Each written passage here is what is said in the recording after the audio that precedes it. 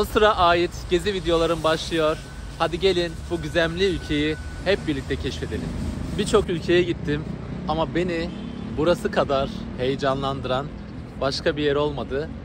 Buranın tarihi, etnik kültürü, yapısı, her şeyiyle çok merakla beklediğim ve heyecanlandığım bir geziyle karşınızdayım. Mısır yolculuğumda 3 şehri ziyaret edeceğim. Luxor, Kahire ve Şarm şehirlerini keşfetmiş olacağız. Bu yolculuklarda nelere dikkat edeceğiz? Biletleri nasıl alacağız? Fiyatlar nedir? Size tüm detaylarıyla anlatmaya çalışacağım.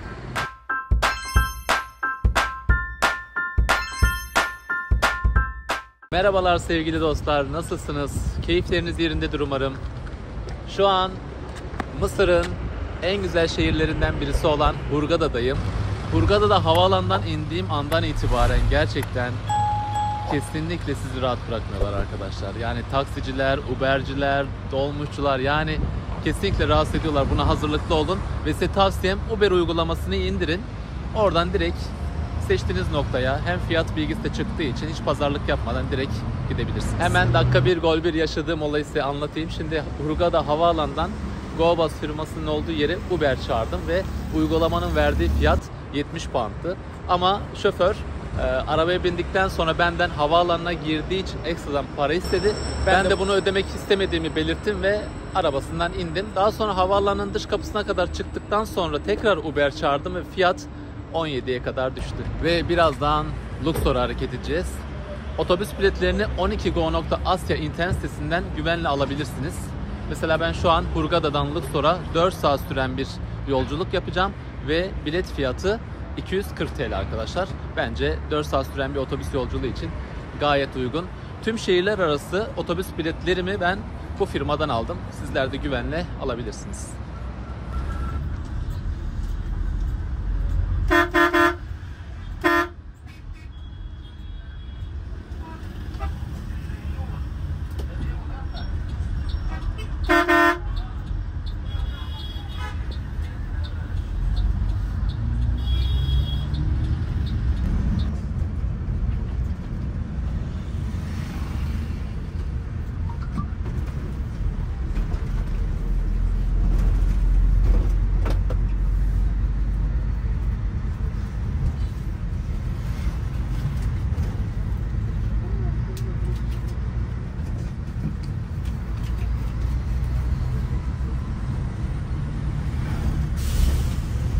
Nil Nehri'nin ikiye böldüğü Luxor şehrinin merkezi bu şekilde arkadaşlar ve ben Luxor'un batı kısmında konaklayacağım.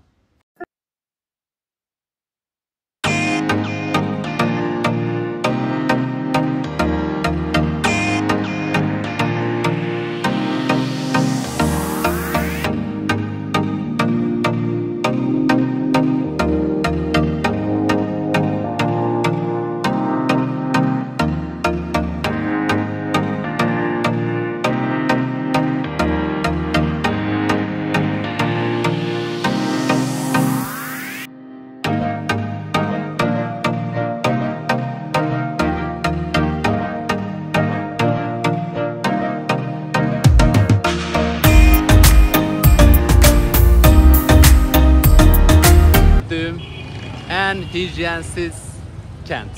Luxor maalesef.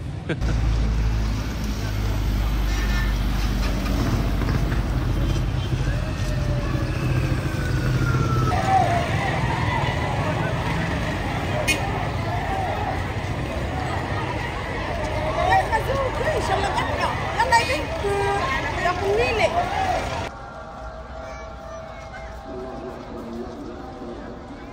Şehir merkezinde yer alan Luxor Tapınağı'na her yerden yürüyerek ulaşabilirsiniz.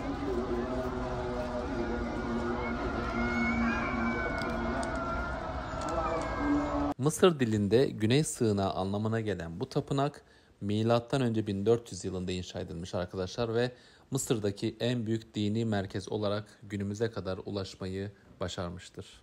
I'm out that bed stop, home of that boy Biggie. Now I live on Billboard, and I brought my boys with me. Say what up to Tata, still sipping my top, sitting courtside, Knicks and Nets give me high five. Günaydın dostlar. Luxor'da ilk sabahım ve kaldığım hostelde birazdan kahvaltı yapacağım. Luxor'da ilk günüm yani hem güzel hem sinir bozucu geçti. Onu söyleyeyim. Gerçekten yani rahat vermiyorlar ya. Sokakta yürürken gerçekten sinir olabiliyorsunuz bazı durumlarda. Ama yine de keyifliydi.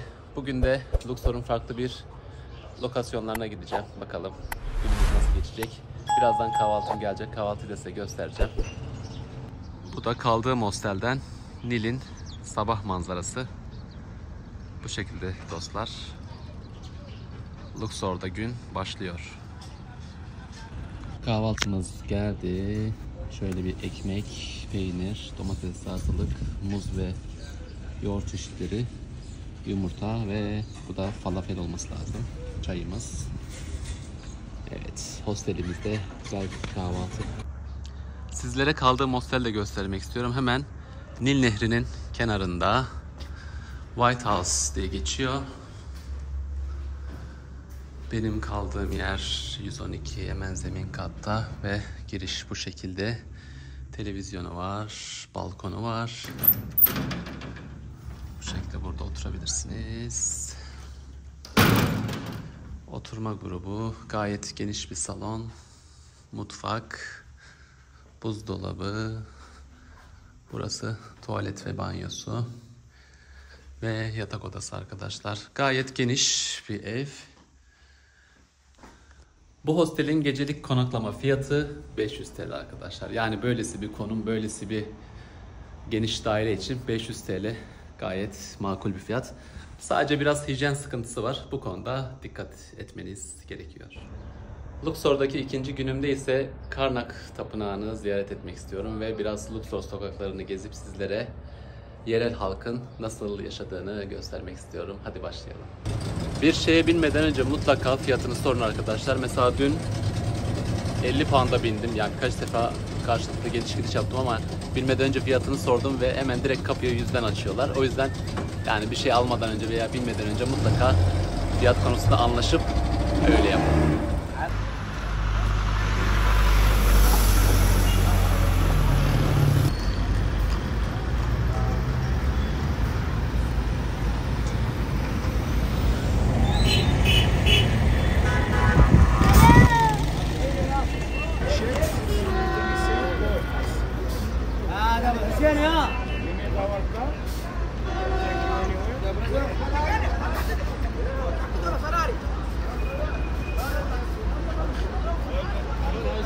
yapın.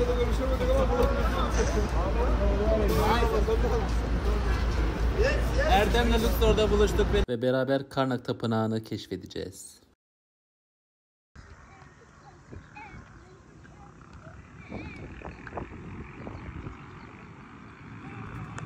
Luxor'da ikinci günüm ve Karnak Tapınağı'na geldim. Gerçekten çok güzel ve büyüleyici. Ve Mısır'da da Giza piramitlerinden sonra görülen en çok turist çeken ikinci yer konumunda. O yüzden ikinci günümde de burayı görmeden gitmek istemedim. Çünkü bu akşam otobüsle Kaire'ye gideceğiz. O yüzden bu de güzel değerlendirmek istiyorum.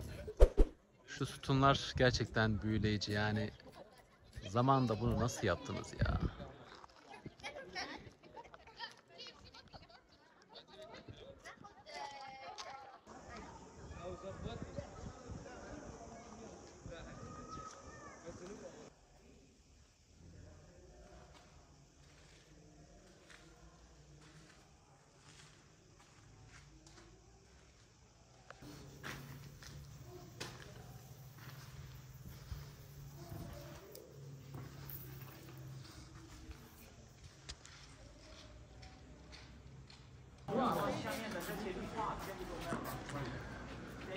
Gerçekten müthiş görünüyor ya. Şu sütunlar. Efsane güzel. Üstündeki işlemeler, hieroglifler. Of çok büyükmüş ya. Çok güzel.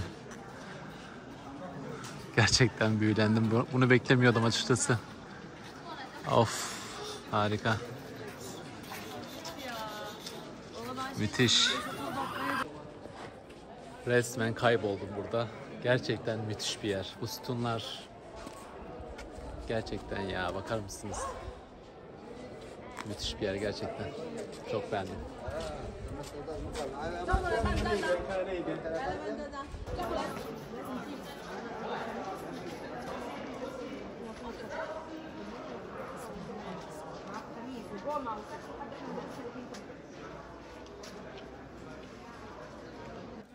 Tapınak Mısır'ın ilk ve en güçlü tanrılarından birisi olan Amon için inşa edilmiş.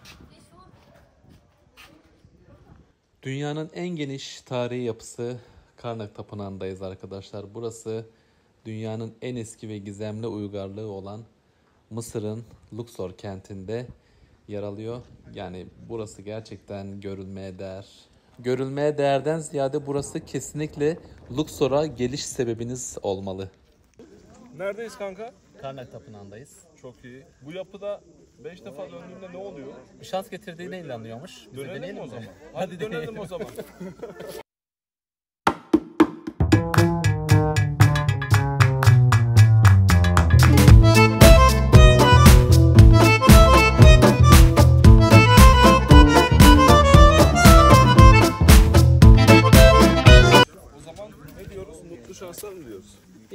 umarım böcek bize de şans getirir. Yani elbet bize de şans güler ya.